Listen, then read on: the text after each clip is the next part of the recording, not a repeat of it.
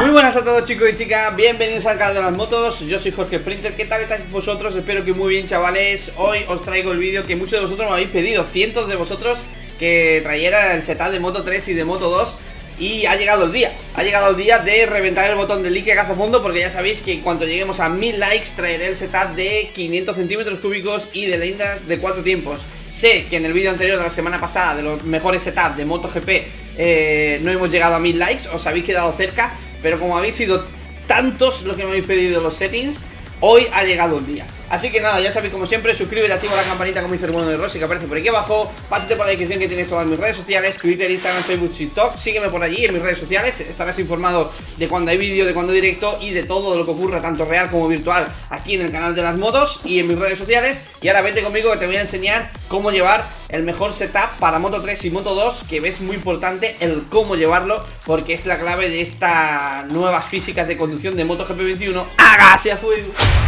Bueno chicos, estamos aquí en la tabla de marcadores globales El récord del mundo está en 39.9 en PlayStation 5 eh, Me voy a coger esta motocicleta, ¿vale? La de Moto 3 La Husqvarna que tiene un 80% de jugabilidad Pero como le vamos a poner rendimiento equilibrado, ¿vale?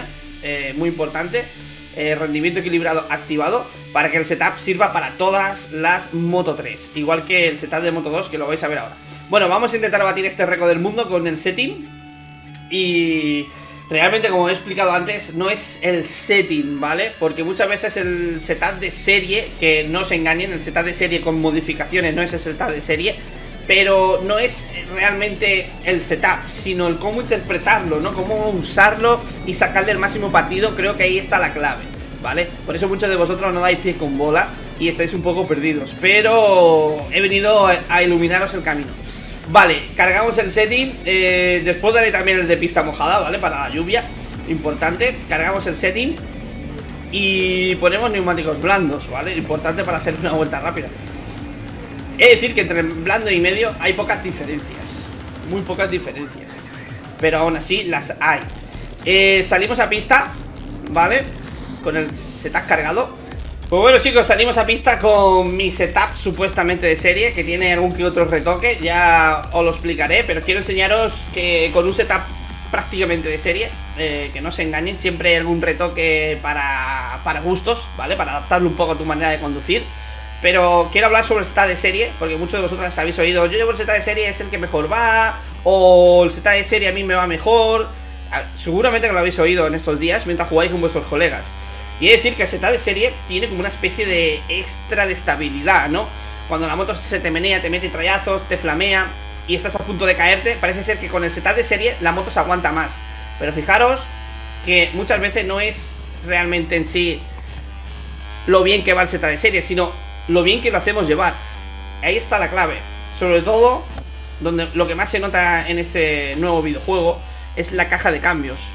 La caja de cambios básicamente es la que nos va a dar mayor o menor potencia en cada marcha y es la que va a hacer que la moto esté estable pegada al suelo. Es muy importante, sobre todo en categorías grandes, el, el saber interpretar que la moto vaya sin que la rueda delantera se despegue y vaya sin hacer wheelies y vayas pegado al suelo en categorías como MotoGP, etcétera, etcétera, es muy, muy importante. En categorías pequeñas, pues no pasa tanto. El mayormente es saber cuándo y cómo meter marchas, como ya estáis viendo cómo lo estoy haciendo yo. A la que la barra blanca se llena, meto la siguiente marcha. No espero a revolucionar más. Voy empalmando marcha básicamente rápidamente. Para que siempre vaya la moto empujando con el par. Ahí.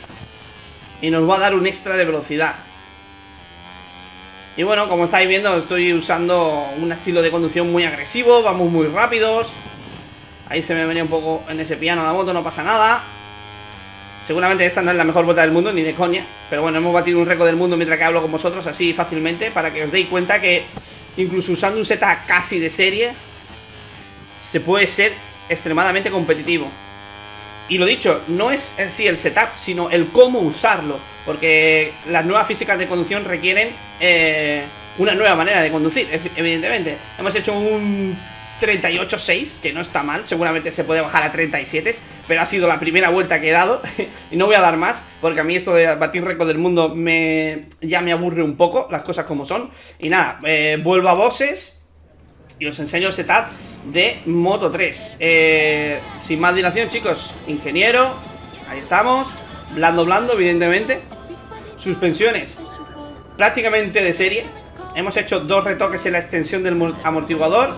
La dureza del mueble trasero la hemos bajado un pelín para que tenga un pelín más de agarre en el primer golpe de gas en primera y segunda marcha la extensión del brazo oscilante delantero también la hemos bajado y hemos bajado un pelín la precarga para que la moto esté un pelín más orientada al paso por curva, ¿no? Y tenga más sobreviraje que subviraje, ¿vale? Y seamos un poco más veloces en mitad de curva.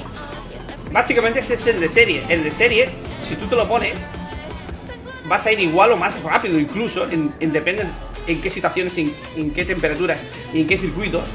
Pero el que os he dado es una mejora en la estabilidad en el de serie, ¿vale? realmente el setup de serie va muy bien, es el más equilibrado, como bien he dicho antes. Fijaros, eh, la geometría prácticamente las he dejado igual. He probado con esta geometría así y también va muy bien, por si queréis probar vosotros. Pero, como estáis viendo, el setup está de serie. Hemos quitado el embrague anti-rebote para una mayor estabilidad en frenada, eso es verdad también. Que todo lo demás está de serie es cierto, ¿vale? Pero no quiere decir que el setup de serie sea el mejor del mundo. De hecho, la caja de cambios es como el de serie, pero tiene un pelín más. Tiene un punto más. Todo al 5, como os estáis fijando, ¿vale, chicos? Todo al 5, esta caja de cambios, pues hace que metamos la marcha un pelín antes que el resto, que la IA también, y le ganemos ahí un poco de, de, velocidad. En cuanto nosotros metemos esta, a lo mejor la IA está metiendo cuarta o quinta o quinta a sexta, ¿vale? Y y le hemos ganado ahí un poco como, como, el traspiés de las marchas y podemos ser un poco más veloces y ganar mucha más velocidad en recta y en aceleración que la IA o que el resto de rivales en el modo online, ¿vale? Pues que lo sepáis. Eh, setup, cajas de cambio para rectas más largas. No os compliquéis mucho la vida. Probáis esto, que va bien. Eh, rectas largas, pues bajáis un punto a la sexta o dos puntos y le quitáis un puntito a la quinta. Por ejemplo, para Philip Island o Muyelo, una caja de cambio tal que así. Y lo demás no hace falta tocarlo. Eh, ajustáis también un poco la, transmisión final, ¿vale? Recta más larga, al 3 o al 4. Rectas cortas como Jerez, eh, Valencia, eh, Motegi, pues al 5 todo. Y os va a cuadrar, ¿vale? Os va a cuadrar perfectamente, no tiene mucha historia para que estéis ahí con un buen setup para todos los circuitos. Os va a servir esta caja de cambio prácticamente para el 50% de los circuitos y a la que así os va a servir para el otro 40% de circuitos y lo mejor en Sachsenring pues haces así en Sachsenring porque es un circuito demasiado corto y, no, y quieres usar quinta o sexta, ¿vale? Pero para todo lo demás es básicamente igual, ¿vale? Y nada, eh, esto ha sido setup de Moto 3 La electrónica también es muy importante. No llevar la, asistencia de electrónica. La electrónica eh, real, realista. Potencia al 3 para correr más rápido Al 2 para ritmo de carrera Al 1 por si te quedas sin gasolina para ahorrar un poco de gasolina Pero vamos. Yo siempre salgo al 3 en las salidas, ¿vale? Y después pongo el 2 Y después si quiero adelantar en rectas pongo el 3 Y voy intentando las rectas poner el 3 Y el resto de la vuelta poner al 2 y en las últimas vueltas, si me queda más, una vuelta de gasolina, pues pongo el 3, casi prácticamente la última vuelta, para ser más competitivos. Control de tracción, contra menos, más potencia tenemos nosotros ah, para poder eh, dar el máximo. Y el freno motor, pues un poco equilibrio, para que la moto no se frene demasiado cuando corto gas y tampoco no se pare demasiado, ¿no? Tengamos un equilibrio en medio para tener ahí ese freno motor equilibrado en, en todo tipo de curvas y todo tipo de situaciones. Bueno, eh, voy a cargar del pista mojada, ¿vale? Y os doy ya el setup de pista mojada. Será muy parecido a lo mejor, ¿eh? Mira, el de pista mojada cambia un poco, ¿vale? Aquí lo estáis viendo, sobre todo la dureza del muelle trasero. Lo ponéis al 0 o al 1 para la pista mojada. También os va a servir las suspensiones que hemos visto antes para pista mojada. En geometrías, pues Hemos subido la geometría todo un punto, al 5, ¿vale? Para tener mayor estabilidad y no, y no derrapar tanto. Y en marchas pues hemos bajado, las hemos puesto de serie, las marchas. El freno motor antirrebote prácticamente lo puedes poner o al 1, al 2 o al 0. Parece que al 0 puede que vaya mejor, más estable y no nos caigamos tanto. ¿Vale chicos? Para las pistas mojadas en Moto 3. Y después la EQ, el tema de la EQ, el control de tracción, pues es igual, ¿vale? Si le ponéis mucha control de tracción, la moto va a frenar mucho porque en la lluvia patina demasiado y no tendréis tanta potencia. Por eso siempre al 3 creo que es lo ideal. Y eso sería setup para pista mojada y lluvias. El tema de la caja de cambio, pues eh, aplicáis el consejo que os he dado antes, ¿vale? La quinta y la sexta, jugar, jugar con ella o con la transmisión final. Pues bueno, pues con este tiempo a la primera, pues hemos hecho el récord del mundo en PlayStation 5. Fácil y sencillo, 38-6. La verdad es que seguramente se puede hacer 37. Pero bueno, eh, no me quiero complicar la vida quiero enseñaros que el cómo usar el setup de, serie, un pelín modificado a mi gusto y que, y que mejora un poco el rendimiento y, haceros ver que con un setup no muy currado de serie pues se va igual de rápido. Y ahora pasamos con la Moto 2. Venga, va, vámonos con Moto 2. Eh, tengo el setup para la NTS, aquí está. Y venga, os enseño mi mejor setup para, para Moto 2. El récord está en 34.1 y vamos a ver si somos capaces de batirlo, va Bueno chicos, salimos a pista con el medio medio Y nada, con la peor moto, la NTS Y con rendimiento equilibrado activado también Las motos corren igual, pero ya sabéis que hay chasis y motos que van un pelín mejor, ¿no? A veces Y bueno Prácticamente con el setup de serie Hemos salido con el medio medio porque el blando blando se sobrecalienta demasiado al final de vuelta y hay que evitar eso intentando no, derrapar, ser muy finos e intentando sobre todo eh, mantener temperaturas óptimas el mayor tiempo posible. Por eso el medio medio al final de la vuelta va mejor que el blando blando. También uno de los mejores consejos que os voy a dar para ser rápido con el setup prácticamente de serie es evitar hacer caballitos. Por eso la caja de cambio de series hace menos caballitos y somos muy competitivos. A veces es incluso en MotoGP tener la caja de serie y, por ejemplo, tercera o cuarta, ponerla un punto menos para alargar y que no te haga tanto caballito y ser más competitivos todavía. Es muy, muy importante ser lo más fino posible. Y a ver si en este segundo intento, porque con la goma blanda no he podido batir el récord, pero a ver si con la goma media, al segundo intento, podemos batir el récord del mundo de Moto 2 como ya estáis viendo, las temperaturas van perfectas ahora. Antes se sobrecalentaba un montón. Por aquí ya iba en plan al rojo vivo. Y vamos al lío. Ahí está la clave. A veces es mejor medio adelante, blando atrás. O medio medio, como en esta ocasión. Y va la moto finísima. La verdad. Y nada, pues después de comprobar que a veces el blando es peor y a veces el medio es mejor. Neumático duro lo descarto porque es demasiado duro y no tienes tanta velocidad y tracción.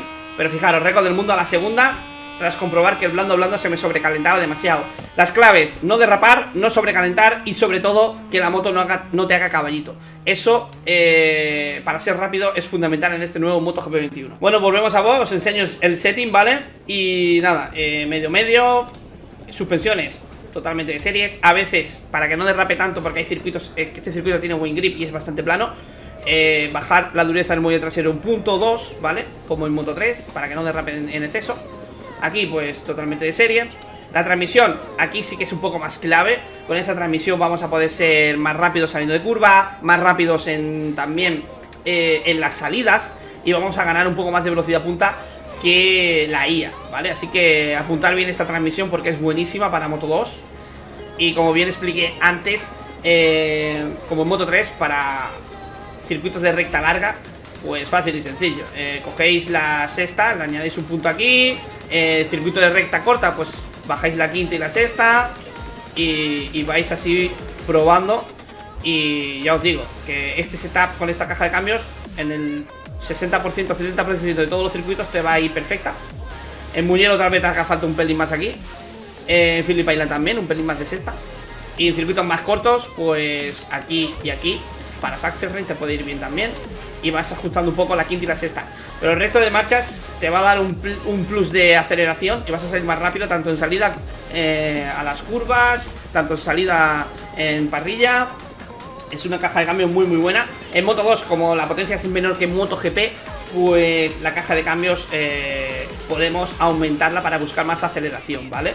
En MotoGP ya os digo que la caja de serie o la caja que di la semana pasada van bastante bien, hace que la moto haga menos caballito, que es lo importante. Y nada, vais probando eh, También eh, los frenos de serie, ¿vale? Y sobre todo la, electrónica, freno motor al 4, sistema caballito al 3 Y potencia al 3 para buscar eh, la mejor equilibrio posible en la electrónica para que nos dé esa potencia que necesitamos para ser rápidos y competitivos. Pues nada, terminamos la sesión y con la peor moto, aún así, con el neumático blando hemos hecho mejor sector 2 para que os deis una cuenta. Hemos dado dos vueltas y hemos hecho el récord del mundo. Me he dado cuenta que con el neumático blando al final de la vuelta Los dos últimos sectores la rueda se sobrecalentaba y no iba A la que he puesto el medio medio Hemos hecho el récord del mundo, un 33.8 Bastante, bastante fácilmente. Eh, Ya os digo, eh, espectacular como va el setup prácticamente de serie Con algunos retoques, probarlo Y aquí estoy delante con rendimiento activado, equilibrado con otro récord del mundo más. Eh, no creo que a tener muchos más récords, la verdad. La verdad es que últimamente el tema de los récords y demás lo hago básicamente para eh, enseñar que el setup va bastante bien. Pero a mí ya se me pasó un poco la fiebre de hacer récords del mundo. No, no tengo tiempo para ponerme, para hacer más récords. Y nada, eh, os enseño aquí para que el setup vaya bien. Y espero que lo probéis y me lo pongáis en los comentarios qué tal os funciona. Los mejores setups que he podido hacer de Moto 3 y de Moto 2. Y bueno chicos, hasta aquí el vídeo de hoy. Muchísimas gracias por acompañarme hasta el final. Deja tu like a fondo. En cuanto lleguemos a 1000 likes Setas de 500 y leyendas de 4 tiempos. Así que vamos a reventar el botón de like a fondo. Suscríbete, activa la campanita como dice el bueno de Rosy que aparece por aquí abajo. Pásate por la descripción que tienes todas mis redes sociales. Y nada, ponme en los comentarios qué tal van estos setups. La verdad que a mí me van genial. Con los cuatro consejos que os he dado de conducción, no es un setup de serie, por así decirlo, tiene pequeños retoques a veces, pero sí que es verdad que el setup de serie parece ser que te da un, una mayor estabilidad y un paso curva que no te dan otros settings y que de momento, eh, si no hay ninguna actualización y demás, eh, es un setup muy muy competitivo que puede hacer hasta récord del mundo, como ya estáis viendo.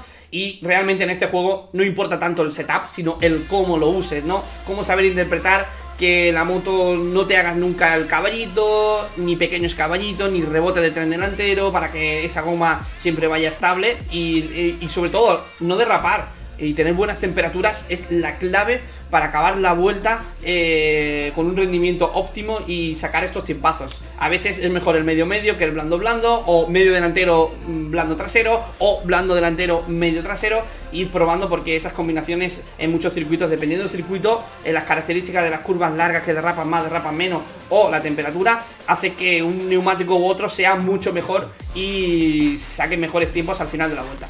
Y nada chicos, si no nos vemos, nos imaginamos, hágase a fuego.